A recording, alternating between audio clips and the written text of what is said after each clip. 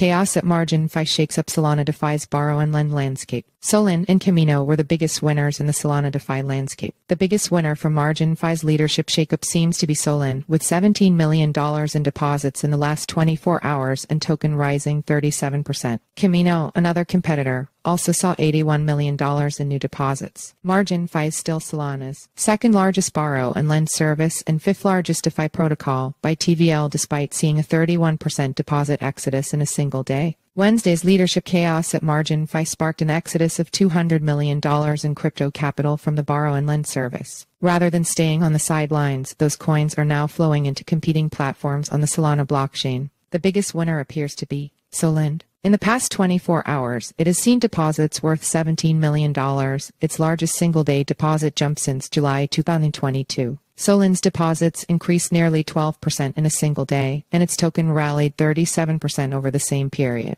These spikes come after Solend's leader, the pseudonymous 0xRooter, offered a token airdrop to lenders who moved their money from MarginFi to his platform, one of the oldest, borrow and lend outposts in Solana DeFi. By share numbers, Kamino saw the largest jump of $81 million in new deposits, or 8.5% in a single day, per DeFi Llama. It doesn't have a token yet, but is expected to airdrop one to its users later this month. Before the chaos began, Kamino had already jumped MarginFi to become Solana's largest borrow and lend platform. Drift saw a modest increase of $3.38 million in deposits. It runs a combined platform that offers borrow and lend, yield generating strategies, and perpetual futures exchange services. MarginFi remains Solana's second largest borrow and lend service and fifth largest DeFi protocol by TVL despite a 31% deposit exodus in a single day. The fiery resignation of its longtime CEO Edgar Pavlovsky leaves its immediate leadership structure and future uncertain, though its on-chain programs continue to run as designed. MarginFi's longtime leader, Edgar Pavlovsky, resigned Wednesday following an internal dispute at the protocol's builder, MRGN.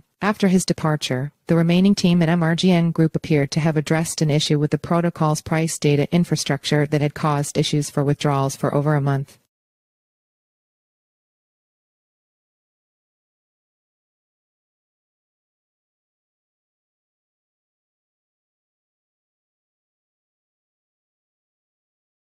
You